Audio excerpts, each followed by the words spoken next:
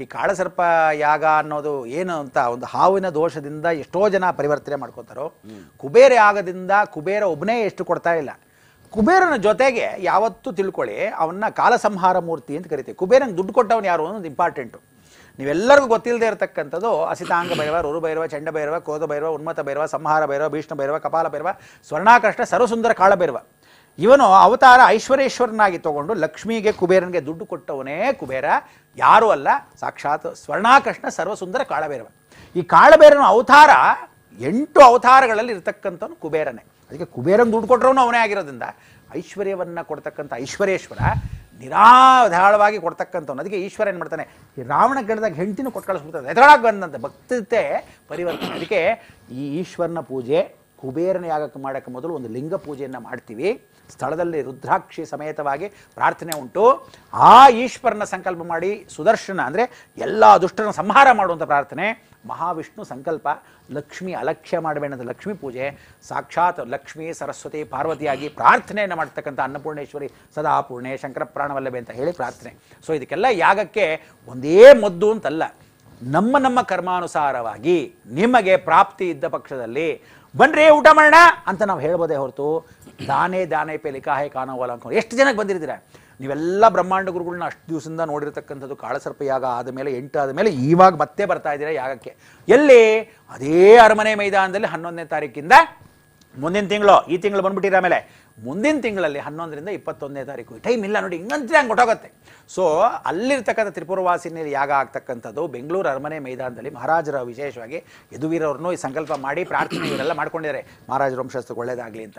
So Kubera ಯಾಗ ಮಾಡ್ತಾ ಇರೋದಲ್ಲಿ ಅರಮನೆ, ಬೆಂಗಳೂರು ಮೈದಾನದಲ್ಲಿ. ಸೊ ಎಲ್ಲರೂ ನಿಷ್ಪಕ್ಷಪಾತವಾಗಿ, ಜ್ಞಾಪಕ ಇಟ್ಕೊಳ್ಳಿ, ಪಕ್ಷಾತೀತವಾಗಿ, ನಾನು ಈ ಪಕ್ಷ, ಆ ಪಕ್ಷ ಅಂತ ಬಿಟ್ಟುಬಿಟ್ಟು ಮನುಷ್ಯ ಸಾಧಾರಣ ಅಂತೇಳಿ ರಾಜಕೀಯದವರು ಎಷ್ಟು ಜನ ಗಂಭೀರವಾಗಿ ಅರವಿಂದ್ ಹತ್ರ ಕೆಲವರೆಲ್ಲ ಕೇಳ್ಕೊಂಡೆ, ನಾವು ಬರ್ಬೋದಲ್ಲ ಅಂತ ಧಾರಾಳಕ್ಕೆ ಬನ್ನಿ ಬಟ್ ಏನಂದ್ರೆ ಬೋರ್ಡ್ಗಳು ಹಾಕೊಂಡು ಬರಬೇಡಿ. ಸುಮ್ಮನೆ ನಾನು ಸೇವಕ ಅಂತ ಬನ್ನಿ. ಯಥಾಶಕ್ತಿ ಶುಲ್ಕವನ್ನು ಅವರು ಕೊಡ್ತಕ್ಕಂಥ ನಿಗದಿ ಸ್ವಾಮಿಗಳು, ವಿಶೇಷವಾಗಿರ್ತಕ್ಕಂಥ ಸಂದರ್ಭದಲ್ಲಿ ಅಗೋರಿಗಳು ಎಷ್ಟೋ ಜನ ಮಠಮಾನ್ಯರು ವ್ಯವಸ್ಥಿತವಾಗಿ ಬರ್ತಾ ಇದ್ದಾರೆ. ಯಾಕೆ ಅಂದರೆ ಇದಕ್ಕೆಲ್ಲ ಕಾರಣ ಬ್ರಹ್ಮಾಂಡಗಳು ಹೇಳ್ತಾ ಇದ್ದಾರಲ್ಲ ಅನ್ನೋದಕ್ಕೆ ಒಂದು ನಂಬಿಕೆ, ಅಲ್ವಾ?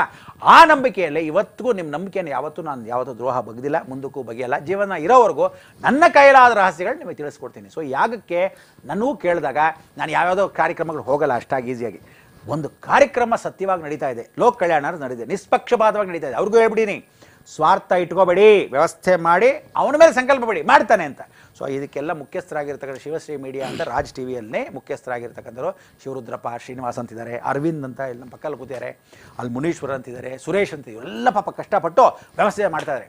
ಮುನಿರಾಜು ಅಂತ ಹೊರಗಡೆ ಓಡಾಡ್ತಾ ಇದ್ದಾರೆ. ಸೊ ಇದಕ್ಕೆಲ್ಲ ಮಾಧ್ಯಮಕ್ಕೆ ಒಂದೊಂದು ಕೆಲಸ ಸಣ್ಣ ಸಣ್ಣ ಸಣ್ಣ ಸಣ್ಣ ಕೆಲಸ ಮಾಡ್ಕೊಂಬರ್ಬೇಕು ಸೊ ನೀವೆಲ್ಲ ಏನು ಅಂದರೆ, ಇವಾಗ ಒಂದು ಗೋಡೌನ್ ಜಾಗ ಮಾಡಿದ್ದೀವಿ. ಮೂವತ್ತು ಎಕರೆ ವಿಸ್ತಾರವಾದ ಸ್ಥಳ.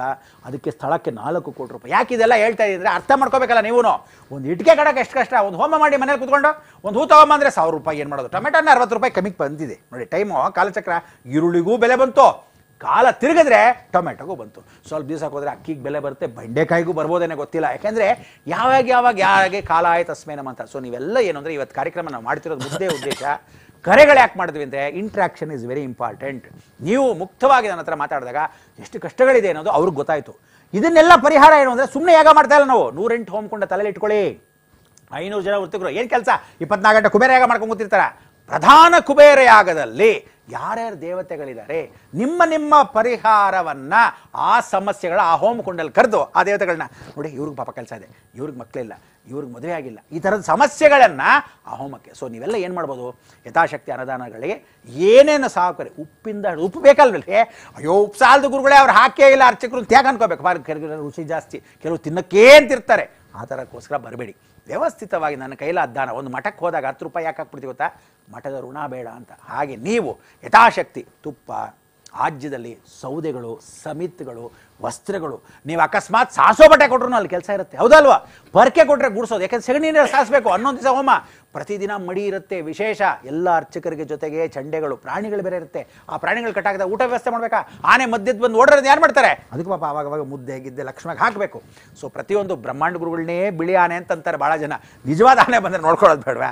ಸೊ ಇದಕ್ಕೆಲ್ಲ ಅನುಕೂಲ ಸಿದ್ಧವಾಗಿರ್ತಕ್ಕಂಥ ನಿಮ್ಮೆಲ್ಲ ಕಷ್ಟ ಪರಿಹಾರಕ್ಕೆ ಈ ಒಂದು ಯಾಗ ಮಾಡ್ತಾ ಇರೋದಕ್ಕೆ ಒಂದು ಮೂಲ, ಒಂದು ಅವಕಾಶ. ಗಾಳಿ ಬಂದಾಗ ದೂರ್ಕೋ. When all doors are closed one window is opened ಆ ಸಮಯಕ್ಕೆ ಬಂದಾಗ ನಾವು ಓಡೋಗ್ಬೇಕು.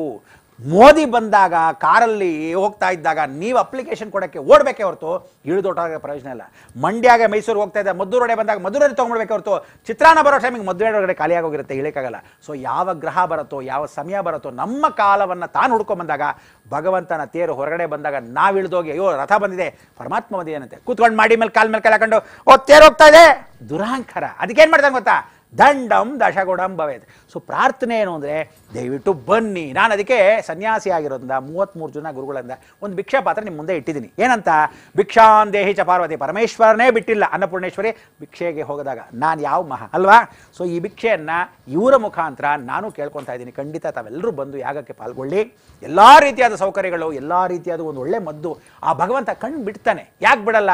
ಪ್ರತಿಯೊಬ್ಬನಿಗೂ ಎಲ್ಲರಿಗೂ ಅವನವನ ಸಮಯ ಬರುತ್ತೆ. ಆ ಸಮಯಕ್ಕೆ ಭಗವಂತ ದಾರಿ ತೋರಿಸ್ಬೋದು. ಹೌದಲ್ವಾ? ಕೆಲವ್ರಿಗೆ ಒಂದು ವರ್ಷ ಆಗ್ಬೋದು, ಕೆಲವ್ರಿಗೆ ಐದು ವರ್ಷ ಆಗ್ಬೋದು. ಇದಕ್ಕೆಲ್ಲ ಜಾಸ್ತಿ ಮಾತಾಡ್ತಿದ್ದ ಬೇಜಾರು ಮಾಡ್ಕೊಬೇಡಿ. ಖಂಡಿತ, ಯಾಕಂದರೆ ಮಾತೇ ಮದ್ದು. ಅದಕ್ಕೆ ವಿಶೇಷವಾಗಿ ಇಷ್ಟನ್ನ ಎಲ್ಲರಿಗೂ ಔಷಧಿ ಕೊಡ್ಬೇಕಾರೆ ಮಾತಾಡ್ತಾರೆ. ನನಗಿಂತ ಜಾಸ್ತಿ ಮಾತಾಡ್ತಾರೆ ಅರವಿಂದು. ಆದರೂ ಸಹ ಇವತ್ತು ಈ ಕಾರ್ಯಕ್ರಮಕ್ಕೆ ತಾವೆಲ್ಲರೂ ಬಂದು ಪಾಲ್ಗೊಳ್ತಕ್ಕಂಥದ್ದು ಬಹಳ ಮುಖ್ಯ.